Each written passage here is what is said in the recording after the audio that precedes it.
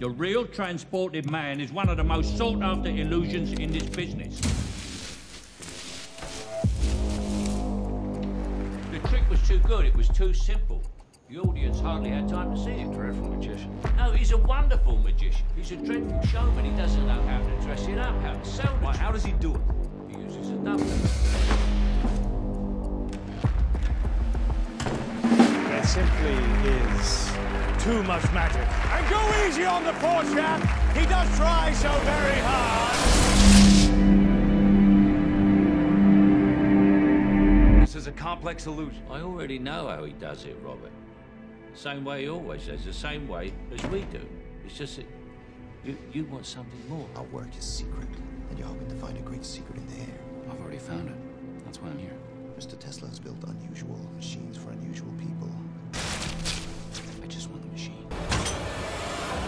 Are you man enough, sir? What you're about to see is considered safe.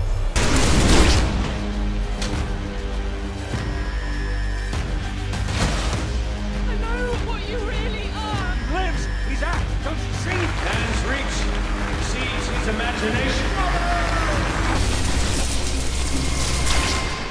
That's not a trick. But he has to come back. There has to be a... A prestige. Exactly. You're familiar with the phrase, man's reach exceeds his grasp. It's very rare to see real magic. The technological marvel, the miracle of Nikola Tesla, ladies and gentlemen.